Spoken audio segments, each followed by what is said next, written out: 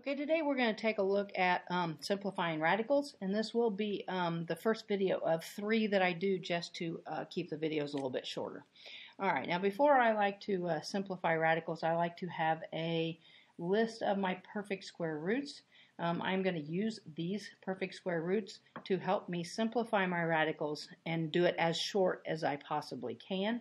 Um, so I just went all the way up to like square root of 169. That usually is going to be good enough.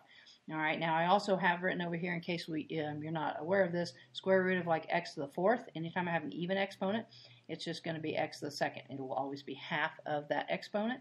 All right, and that's due to uh, laws of exponents because I could take x to the second times x to the second, and when multiplying like bases, I add the exponents. That would get me back to that x to the fourth. Okay, so square root of x to the sixth then would be x to the third half of that exponent. Square root of x to the eighth would be x to the fourth. So even exponents on our variables are going to be very, very helpful.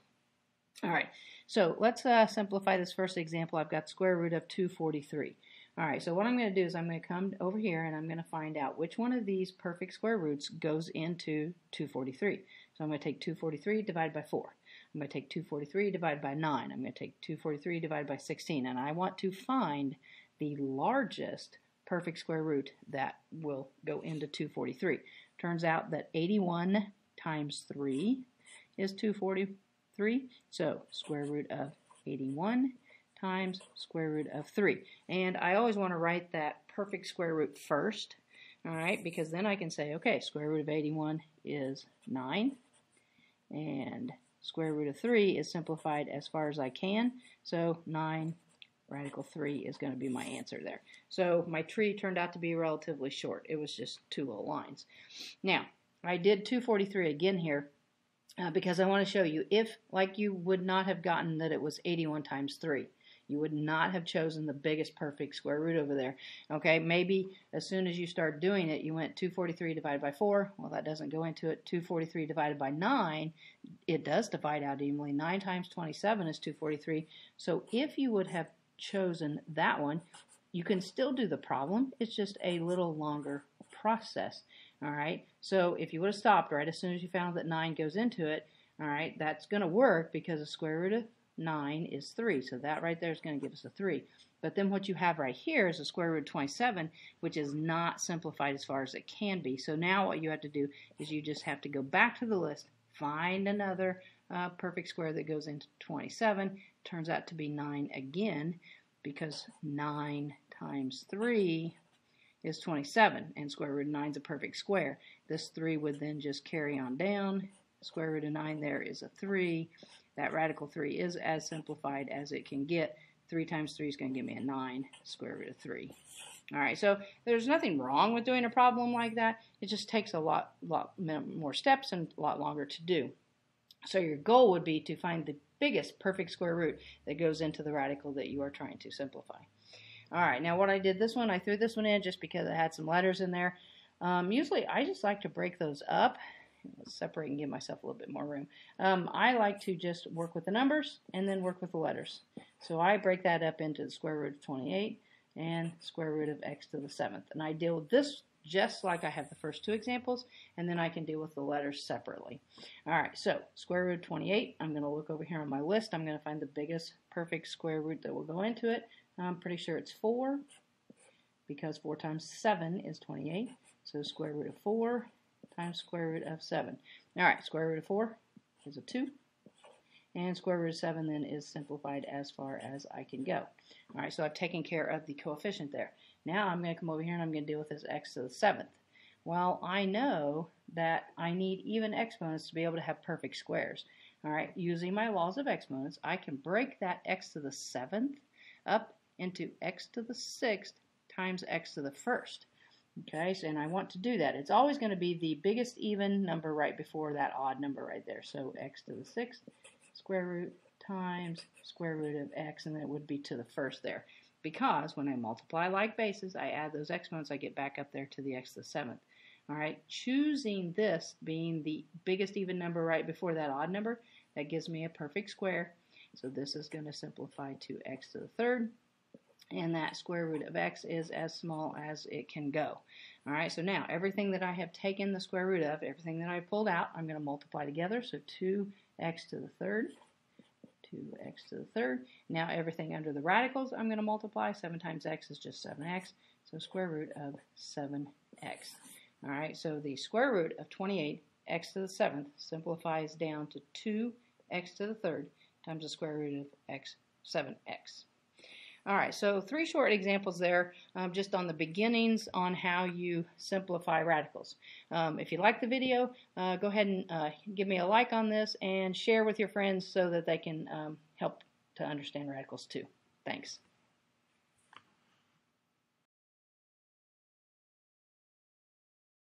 Um, we're going to do some more with simplifying radicals. Uh, this is video uh, number two of three that I am doing.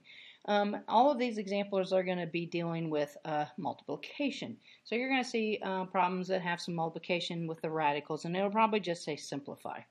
All right, um, here again, before I have started this, I do have my list of perfect square roots, which is going to come in handy once I start to break it up into a low factor tree to simplify my radical, and then just reviewing that um, even exponents, the square root of like x to the fourth is going to be an x to the second. Just reviewing that from uh, the first video, part one that I did. All right, um, so let's say start out here. Um, first thing you're going to want to do, um, you can multiply what's underneath radicals. All right, so that's what I'm going to do. This is square root of 8 times the square root of 12. So I'm actually going to go 12 times that 8 right there, and I'm going to get 96. So then I've got the square root of 96. Once I get to that part, I'm going to simplify it just like I did in part one.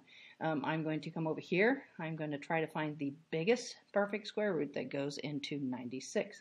All right, turns out that 16 goes into 96 six times. So then I'm going to break this up into the square root of 16 times the square root of 6. Okay, by choosing this being the biggest perfect square, then I'm only going to have two rows here. Square root of 16 gives me a 4. Radical 6 is as simplified as it can go. So then I've got 4 square root of 6. All right, so uh, simplified answer there, 4 square root of 6. Okay, now I've got another example here showing some multiplication. These times there, uh, this time there's some coefficients out here outside that radical, and then you've got stuff underneath radical. When you multiply, you may multiply the coefficients together. You may also multiply what's underneath the radicals. So that 3 times 4 is going to give me a 12. And then 2x times 10x is going to give me a 20x squared underneath my radical. Okay, so now I'm going to simplify this. That 12 has already been simplified. I mean, it's the coefficient out in front of the radical, so I don't need to worry about it. That 12 is basically just going to come down in every line that I do. Okay, so we'll go ahead and put that 12 down there. Now, like I did in part 1 in the first video that I showed, I broke up the coefficient and the variable, so I'm going to do that here. I'm going to break this up into square root of 20 times square root of x squared. That way I can deal with them separately. The 12, like I said, is done. He's just going to come straight down.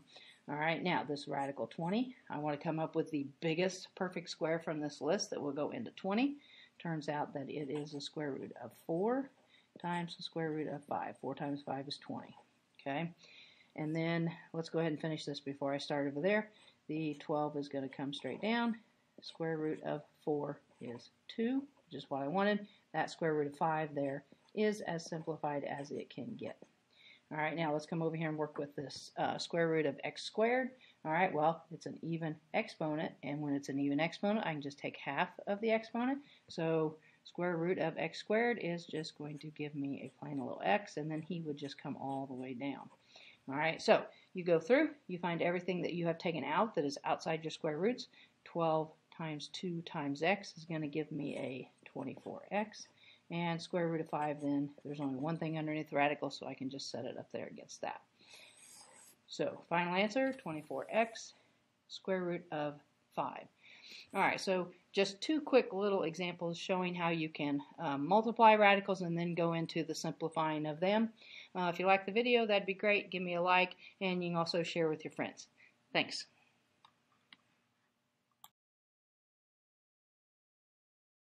This is my uh, last video of three on simplifying radicals. Um, each one of these examples are going to be dealing with quotients. Um, and again here I have my list of perfect square roots that will come in handy when we go to simplify even farther and then a reminder of when we have even exponents on our variables then we can just take half of that exponent and that will be make it a perfect square. Alright, um, so a lot of different things that you can do when you have quotients inside here. First of all, I'm going to take a look at what's underneath there. I have square root um, of 11 over 49, one great big radical. All right, now if one or both of these are like perfect squares, then I'm going to want to break this great big radical up into two small ones. And as I can look, 49, square root of 49 is 7, so it is on there. So I, that's what I'm going to want to do. I'm going to want to make it a little square root over the top and little square root over the bottom. Okay, that is a legal uh, move that we can do with uh, radicals. All right, square root of um, 11, I can't simplify, but that square root of 49, I can simplify. So this would become square root of 11 over 7, and then I'm done. I don't have to do any more with that. Okay, again, uh, taking a look at this second example, I'm going to take a look at that quotient inside that radical, and I'm going to see what I can do with it. All right, square root 25 is a perfect square. And because this is x to the fourth, that's an even exponent, then it definitely is also a perfect square root. So I'm going to take the one great big radical and I'm going to break it up into two small ones. So I can take the square root of 25 on the top. I can take the square root of x to the fourth on the bottom. Square root 25 gives me a 5. Square root of x to the fourth gives me an x squared. So again, relatively straightforward there. Okay, um, now over here on this one, let's say I want to go to this example over here. Let's say we're taking the square root of 88 over 11. All right, well, square root of 88 is not a perfect square, so on our list, square root of 11 is not. All right, however, if I continue to take a look at what is going on with these two numbers in here, I can take 88, divide by 11, and that turns out to be 8. So if I can divide them, I can do that. So 88 divided by 11 is 8. That's going to simplify this down into the square root of 8.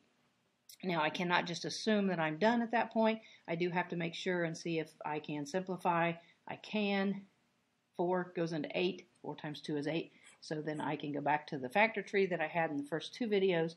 I can break this up into the square root of 4 times the square root of 2.